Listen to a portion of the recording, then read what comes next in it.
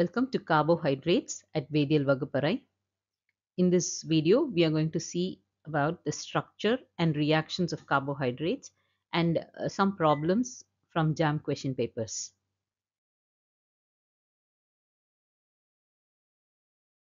So in this video, you will be studying about carbohydrates, their definitions, classifications, configuration, optical activity, structure and reactions. So first the classification. So carbohydrates are classified into three major class, monosaccharide, disaccharide and polysaccharide. Monosaccharides are those which cannot be hydrolyzed further. They are glucose, fructose, galactose, etc. There are a lot of them.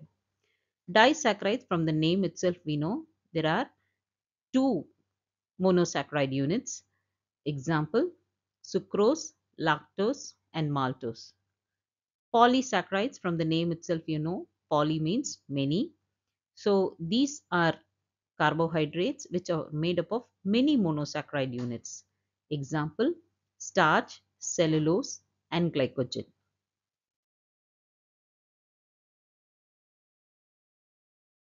So coming to the nomenclature. So the fundamental nomenclature of carbohydrates earlier was uh, thought of to be hydrates of carbon because of their empirical formula. Like say for example, C6H12O6 can be written as C6H2O 6 times. So that is why initially the name carbohydrate was given. But later on it was found that these carbohydrates are not hydrates of carbon, rather they are polyhydroxyaldehydes or ketones. So I have put two structures of two monosaccharide as I showed you in the previous slide. Carbohydrates are classified as monosaccharides. So glucose and fructose are two monosaccharides and these monosaccharides have many OH group. So in case of glucose, we see so many OH group. In case of fructose also, we see a number of hydroxyl group. And that is why they are called as polyhydroxy. And you see here, there is a functional group in case of glucose, which is an aldehyde. And in case of fructose, it is a ketone.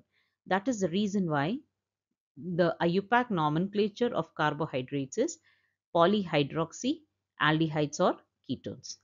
Now coming to configuration. So configuration as uh, we all know is the way we write the structure of the molecule on paper. So in these two structures, the hydroxyl groups are written in a particular pattern.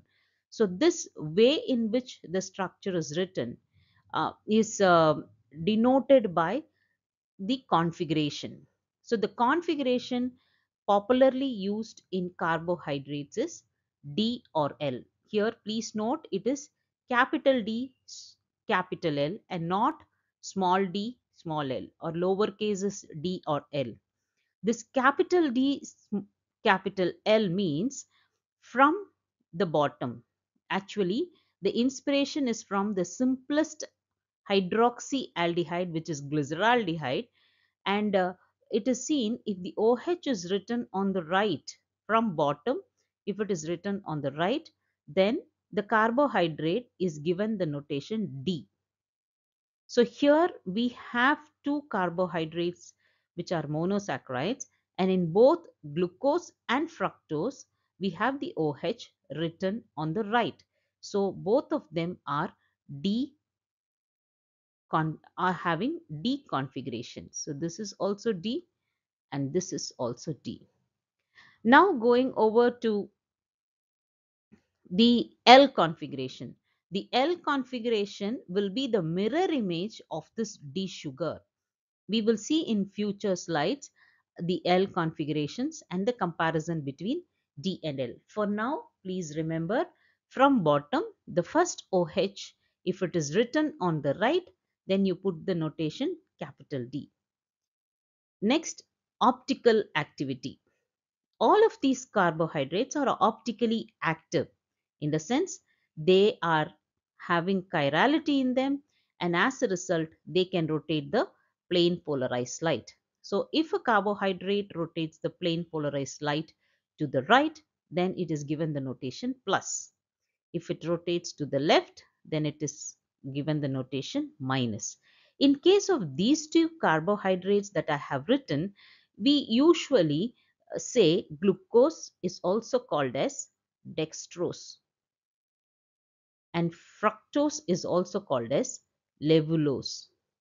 In the sense, glucose has the capacity to rotate the plane polarized light to the right.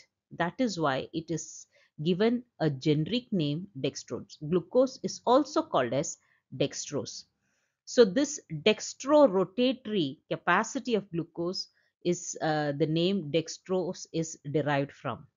Earlier older notations uh, were small d small l instead of plus and minus the notation was d and l to tell dextro and levorotatory but nowadays in order to avoid confusions the d and l notations are no more given and only plus and minus is the uh, mm, symbol for optical rotation.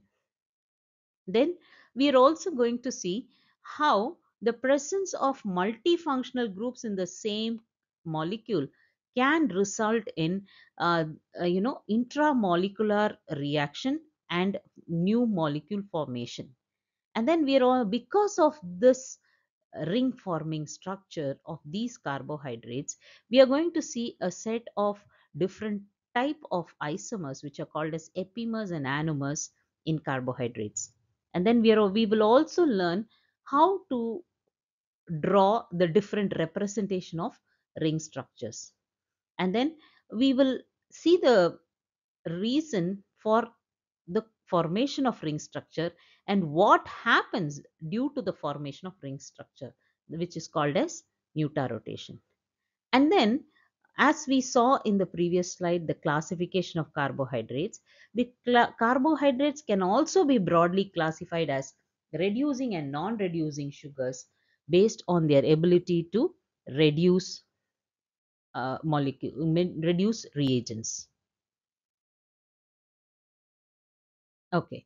So now we will see about configuration in a bit uh, detailed way. So here on the left hand side i have drawn the structure of d glucose and l glucose which are nothing but the mirror image isomers. So the if you would want to know the definition of an enantiomer uh, and um, how to arrive at the um, uh, how to find out whether the molecule is an enantiomer or not, how to assign RS configuration, you can look at the videos already uploaded on this topic.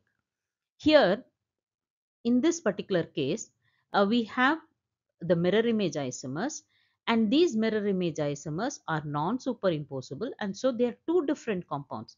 So D-glucose, remember I told you the bottom OH group, if it is written on the right, it is D. If it is on the left, it is L. We are not bothered about other configurations. Similarly, uh, because D-glucose is a, having stereoisomer, uh, having stereoisomers, now uh, we would want to see how many chiral carbons are there in this molecule. So if we look deeply, there are four chiral carbons on the six carbon glucose. So there are four chiral carbons.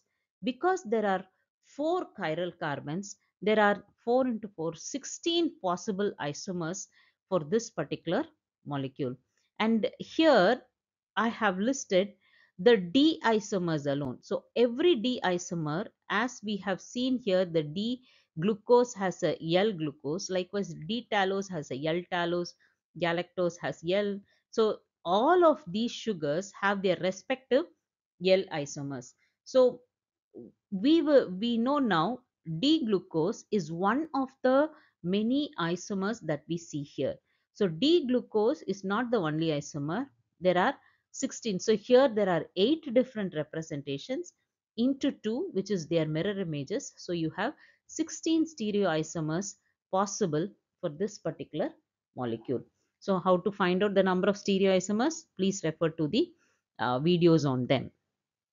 So in this particular case, it is very significant to, uh, to see that the OH group, which is written on the right, on all these sugars, and so the name D.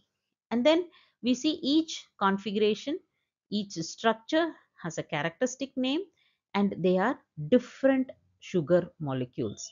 Now we will see the relationship between these sugar molecules.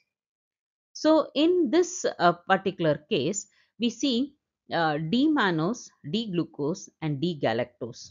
Among the eight, I have picked up these three sugars and we see they differ in configuration about only one carbon atom. So here in this case, this carbon atom and this carbon atom are uh, the only place where mannose and glucose are different. So because this is the only place where mannose and glucose are differing in their structure, this relationship is called as C2 epimer. Similarly, we see between glucose and galactose, there is a difference only in the C4 position of glucose and uh, galactose. And because there is difference in only glucose and galactose, this is called as a C4 epimer. So what is an epimer? Epimers are nothing but stereoisomers which differ in configuration at only one carbon atom. So that is the definition of a epimer. So the epimer of glucose is mannose and galactose. Mannose is a C2 epimer and galactose is a C4 epimer. So now we will see another important uh, chemistry of these carbohydrates. As I told you earlier, there is an aldehyde group and there is a hydroxy group and we must remember five membered and six membered ring are stable rings. So when this first carbon and the fifth carbon combine, okay, the first carbon and the fifth carbon combine, the molecule can form a six membered ring. So this is already five and the oxygen in between could lead to the, this oxygen in between could lead to the formation of the sixth carbon atom.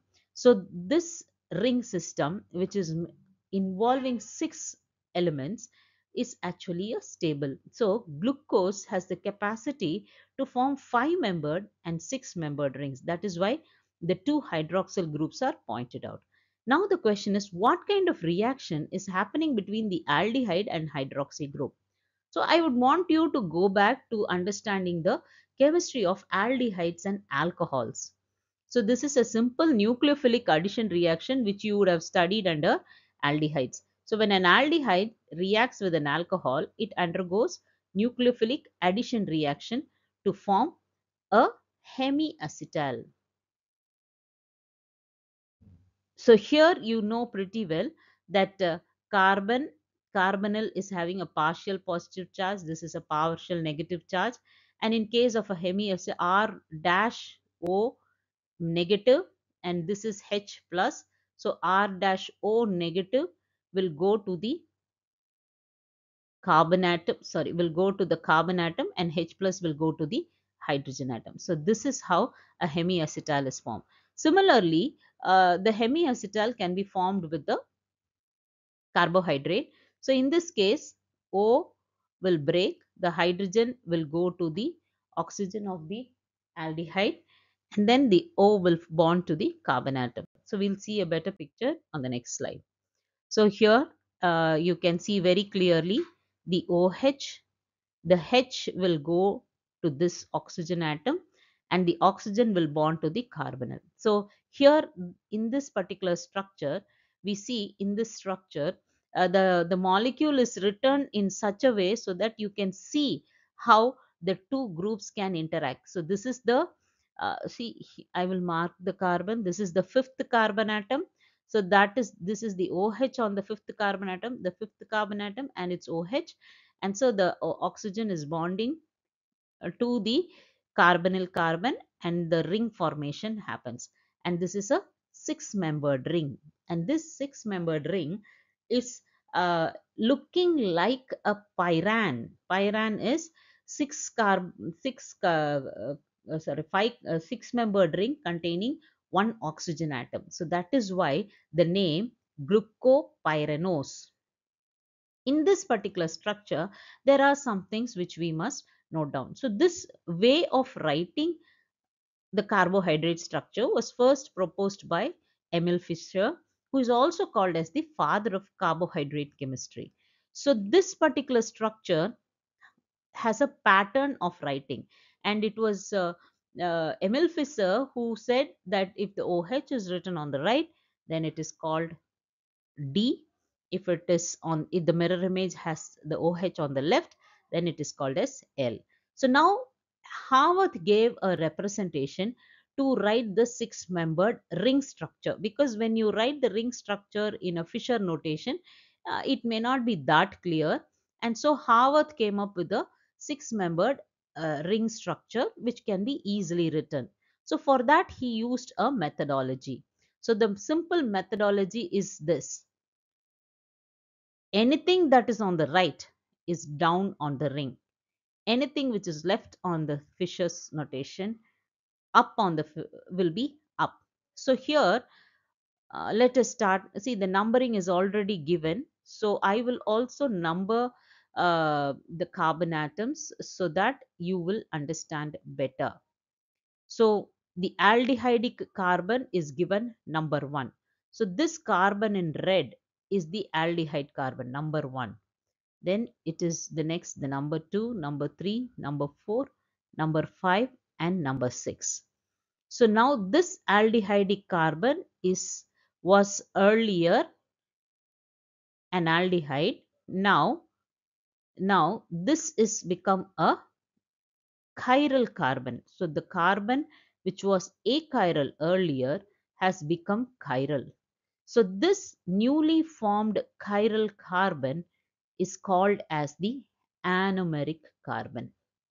So earlier the aldehyde uh, carbon was achiral.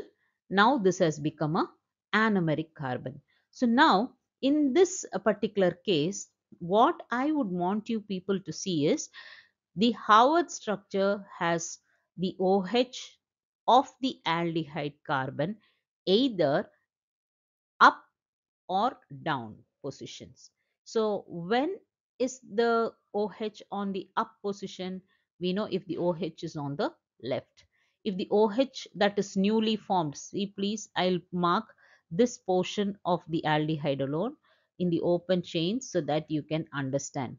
So after the formation of the hemiacetal, this is how the structure will look. Okay, this is how the structure of the anomeric carbon will look.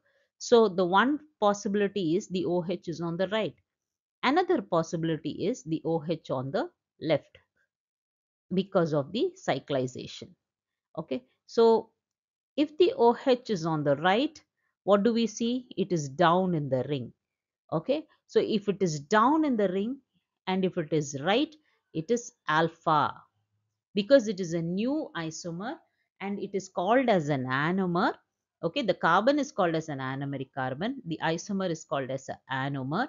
Now, glucose, which you saw in open chain, is now represented both by alpha and beta structure. So the structure given here has the OH on top in the sense the left hand side which is the beta position. So that is why you it is given the notation that beta and this is resulting in the formation of a hemiacetal.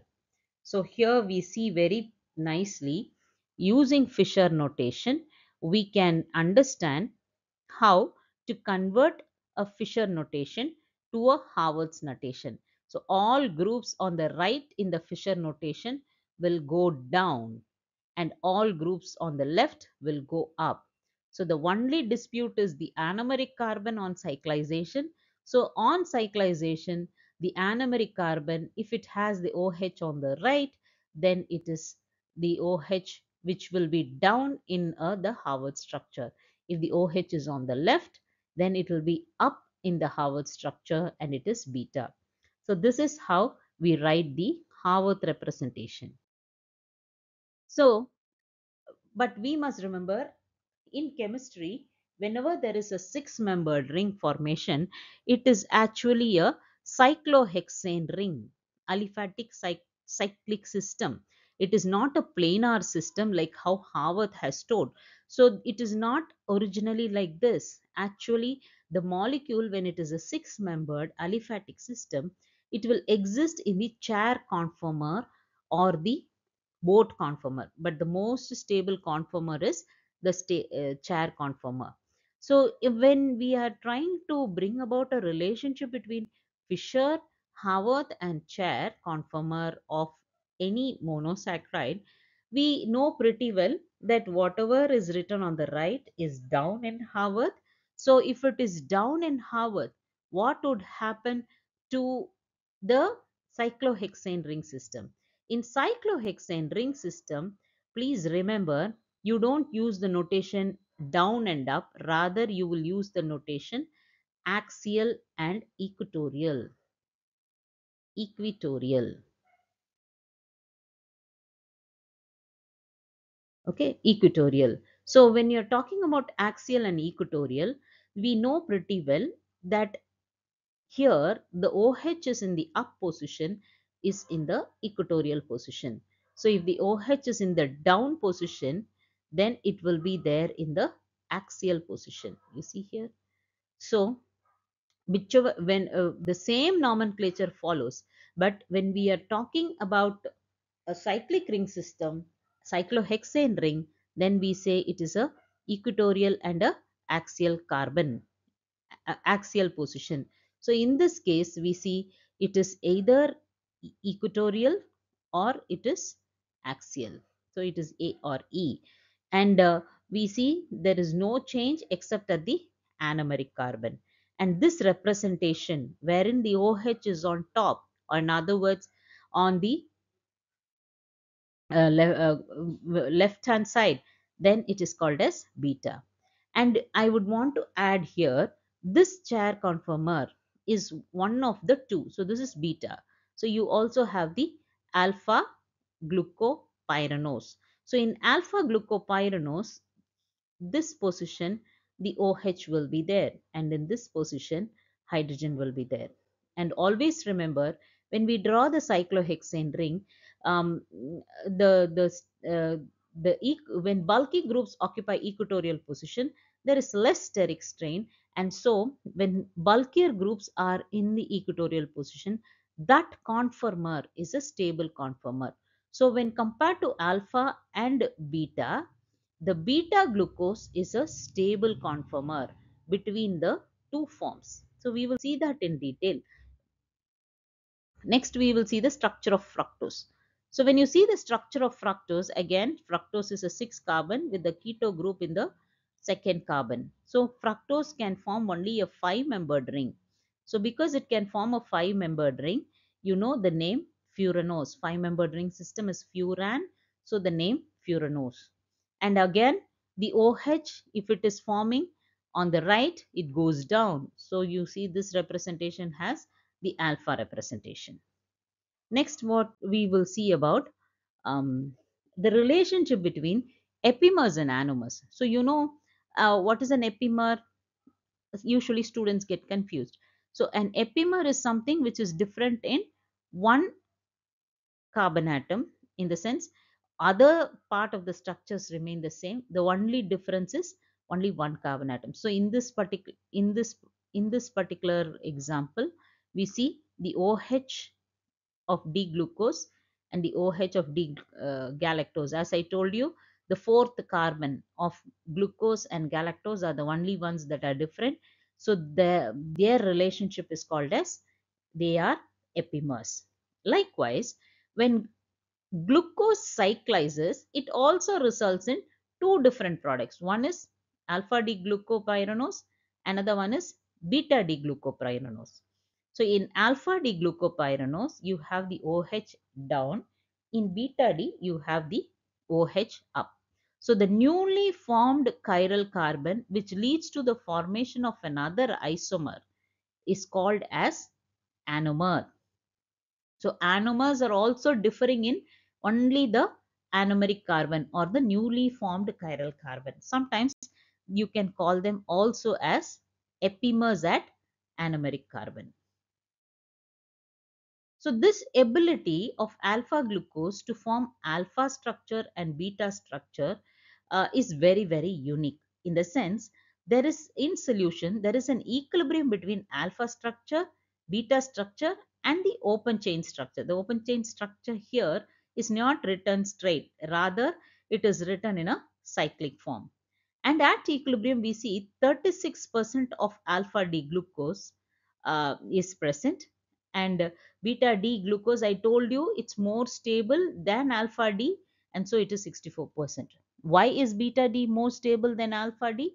It is because if you see the cyclohexane ring system of the glucose, you will see all the bulky groups, all the OH groups are in the equatorial position. And so this is a stabler form of glucose when compared to alpha D glucose.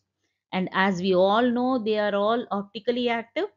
So the isomeric, I'm sorry, the equilibrium uh, structure has a optical rotation of 52.7, whereas the alpha D glucose has a characteristic specific rotation of 112 degree and beta D glucose has a specific rotation of 18.7. And this ability of alpha D and beta D to equilibrate between the open chain structure is called as muta rotation. So this capacity of monosaccharides or disaccharides. So you, uh, one important thing what we must remember is this carbon, anomeric carbon, okay, and if it is having the hydroxyl group that is free, then in solution it always exists in equilibrium with the open chain. Okay, so all reactions are dependent on whether this anomeric carbon having its hydroxyl group is available for reaction or not or is available for muta rotation or not. Accordingly, the reactivities will change. So now let's uh, see a, a, question paper. Uh, this is JAM 2014 question paper and this is actually the structure of uh, the cyclic structure of glucose in equilibrium with the open chain structure of glucose. And as I told you, this is a cyclohexane ring system. And in this ring system, we see very clearly the anomeric OH group. So this is the anomeric carbon. The anomeric OH is in the axial position. Similarly, here you see the anomeric OH is in the equatorial position. And all other OH groups all have the same positions. So now, in this particular structure, all the OH groups are in the uh, equatorial position. So this is actually the beta glucose and this is the alpha glucose and this is the open chain. So from the previous question that we have previous understanding of these two we know 36% and 64 so the ratio of it will give you the answer. Now going over to reducing versus non-reducing sugar. This is also another important you know classification of sugars based on their uh, um, capacity to uh, reduce reagents such as Tollens reagent, Benedict's reagent, Fehling's reagent. So in the process of reducing, they get oxidized. So here D-mannose, as we see here, is having a hemiacetal structure. Here D-galactose is also shown as a hemiacetal structure and all of these monosaccharides can form cyclic structure and they are always existing in the equilibrium with their open chain structure. So all monosaccharides that have the ability to equilibrate to their open chain structure are said to be reducing sugars. So if there is a monosaccharide or a disaccharide or a polysaccharide, if it is having its anomeric hydroxyl group free that is very very important. Its anomeric OH group should be free. So only if it is free it can equilibrate to the aldehyde group or the ketonic group. So only then it can form a it can be called as a reducing sugar. So if this anomeric OH group is not available this group is not available, it is converted into something else, or it is forming a reaction with another group, then such sugars which do not have their anomeric group available are said to be non-reducing sugar. One of the classical examples of non-reducing sugar is sucrose. Sucrose is nothing but table sugar. So this sugar, as you see, uh, the, it is made up of glucose and fructose. So this six-membered ring is glucose and the five-membered ring is fructose. So we see here the OH of the glucose and the hydrogen of the fructose are locked in position and as a result, the, sorry, here actually the OH group of the fructose and the OH group of the um, sucrose uh, condense together and form a glycosidic linkage. So because it is both the blue arrow mark shows that both of them are anomeric carbon. So sucrose is a non-reducing sugar in the sense it cannot mutarotate. It cannot open. There is no possibility of sucrose to form the open chain. And so it is a non-reducing sugar. So similarly, you see disaccharides. Another disaccharide is maltose. Here in maltose, this is the anomeric carbon. So it is made up of two alpha D glucose units. So this is one anomeric carbon. This is another anomeric carbon. See, this is the place where the reaction happens. So the reaction is between the first carbon and the fourth carbon. So the glycosidic linkage is called as 1 comma 4 glycosidic linkage. So it is between the OH of the first and the OH of the next. And uh, this is the fourth one. This is the first one. Okay. So this is why it's called as 1 comma 4 glycosidic linkage. And in this particular case, we see very clearly the OH on the first carbon of this glucose unit is actually the anomeric carbon. This is actually the anomeric carbon of the next glucose which has not undergone reaction. So this carbon can open into the aldehyde group and that is why maltose is a reducing sugar. Similarly, we see in case of lactose. Lactose is made is a disaccharide which is made up of galactose and glucose. So in case of galactose and glucose, again we see uh, the anomeric carbon of the glucose unit is free. So though one side the, it is occupied, on the other side it is free. In the sense it can open up. And that is the reason why lactose is also a reducing sugar. As I told you, sucrose is a non-reducing sugar because this anomeric carbon and uh, this anomeric carbon both of them are involved in reaction so you you see that um, there is no possibility of sucrose these two rings to open and undergo reaction. So sucrose is a non-reducing sugar. So this is another 2012 JAM question. So it's a quite easy fundamental question. So there are a list of uh, six membered ring Haworth structures given. And uh, the question is which one is the alpha anomer. So when we talk about the alpha anomer, we know this is uh, glucose. So this is the alpha anomer structure wherein uh, the first uh, group or the anomeric carbon has OH on the left and then you see alternate OH groups. So in this particular case, C is the answer. Likewise, again, this is also a fundamental question. The C2 epimer of glucose. So all of these are fundamental. This is a 2018 JAM question. So um, uh, very straightforward question. Which among these is the C2 epimer? So there is only one C2 epimer, which is mannose. So this is the direct answer. Fructose is not an epimer of glucose. Okay, fructose and glucose are um, isomers, functional isomers. And galactose is a C4 epimer. Okay, gulose is not an epimer. Okay, again here another question, 2012 question, wherein uh, the, the question is about which is the correct epimeric pair. So what is an epimer? They differ in the configuration about one carbon atom. So you can just compare each of these structure with all the other structures and see if they are differing only in one, one carbon atom. So if you take P and compare Q, we see here the only difference is 1, 2, 3, the third carbon atom between P and Q. Whereas R and S are all different. So the correct answer is P and Q. So you see this, this place. That is the different one.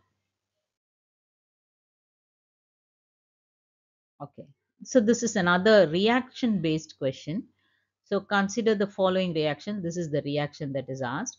Among the following, the compounds whose osazone derivatives will have the same melting point as that of X. So this uh, reaction was uh, also devised by Emil Fischer and um, um, we know that glucose has two uh, of its uh, isomers, uh, which is one is fructose, another one is the epimer uh, mannose. In all these two structures, whether fructose or mannose, we see the what is marked in blue. Okay, the groups that are there uh, uh, after the the third carbon onwards are all similar. So the only difference you see is in the first two okay when you see the first two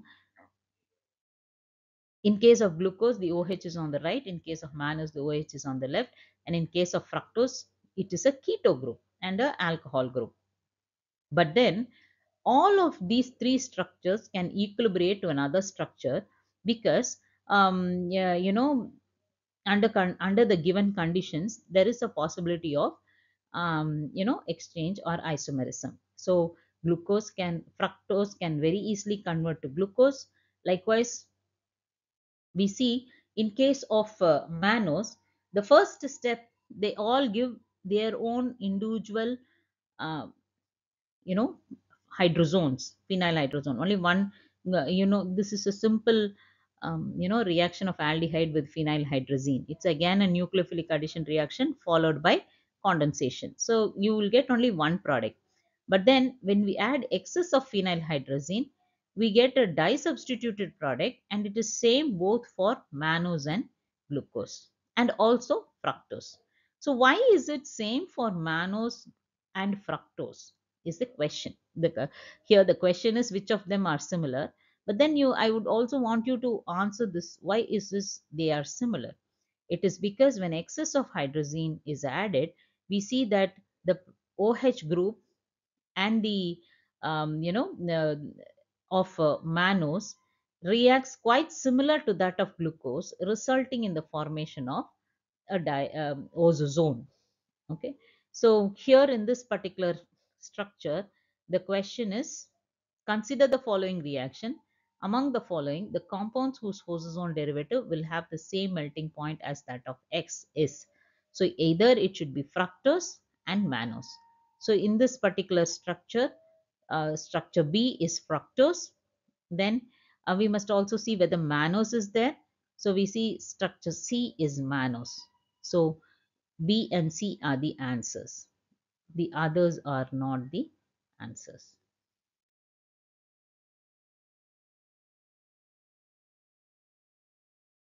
Okay. Another reaction is given here. In the following reaction, D-glucose a product is formed. Among the following which one will give the same product under identical condition? So again here if you see this is actually Ruff's degradation. So shortening of sugar by one carbon length. So we know Kiliani Fischer and Ruff degradation are can be done for carbohydrates. That is from bigger chain length to shorter chain length and from shorter chain length to bigger chain elongation can also be done using Kiliani Fischer here this question is on chain shortening. So in this first step, the aldehyde reacts with bromine water, oxidation happens, and then it forms an acid, and then peroxide and uh, iron sulfate leads to oxidation and decarboxylation with one carbon less. So carbon dioxide goes out, and so you get a carbohydrate with one carbon less. In case of glucose, the product is D-arabinose. It's a 5 sugar carbohydrate and uh, I would want to add when two Ruff degradation happen, it goes to glyceraldehyde. So the formation of glyceraldehyde happens, uh, uh, which is the first molecule which we use as a reference to give nomenclature for carbohydrates. So now the question is, which among the following compounds will give the same product? So it should we should look out for mannose. So glucose and mannose are the carbohydrates which differ in configuration about one carbon atom and they react similarly because you know anyway one of the carbon will go and then the aldehyde will be formed and the rest of the configurations will remain the same. So the five membered compound formed from glucose and mannose will be the same. So again in this case B is the answer. So again this is a simple uh, question Tollens test. Tollens test is, uh, uh, is also used to validate whether the sugar is a reducing sugar or a non-reducing sugar. So uh, Tollens uh, test is answered by uh, carbohydrates that can have their hemiacetal free uh, whereas it is negative for carbohydrates that do not have their ne negative sorry that do not have their um, you know uh, carb, i'm sorry uh, that do not have their aldehyde free. So we know mannose and galactose are monosaccharides and so they can equilibrate between the open chain and the cyclic. So the open chain aldehyde can undergo oxidation and form acid and reduce Tollens reagent whereas sucrose which is a non-reducing sugar has both the uh, you know as um, anomeric carbons locked in position in glycosidic linkage. So as a result sucrose is the non-reducing sugar. So it's it will not answer Tollens test. So the other three are reducing sugars and sugar is sucrose is non-reducing. So it gives negative Tollens test.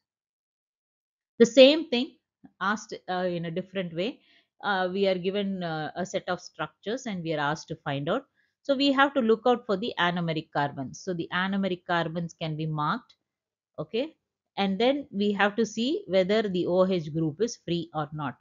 So in all these cases, the first case, this case, the OH is free. In this case, it is converted into OMe, so it is not available. In this case also, it is converted into OMe. And in this case also, it is converted into OMe. But here it is available. And of course, this is a, a keto group which can form aldehyde. So this can also be a reducing sugar. So the number of reducing sugars is 3. Again, a similarly related question which was asked in 2021. The functional groups in reducing sugar that test positive with Tollens reagent is. So we know pretty well it has to be a aldehyde. It can be a ketone. It should be an hemiacetal and this is an acetal. These two are acetals. So if it is an acetal, it will not undergo reaction. So the question is the functional group that tests positive. So the answer is A, B and C. I hope you understood uh, the complete concept on carbohydrate. Thank you.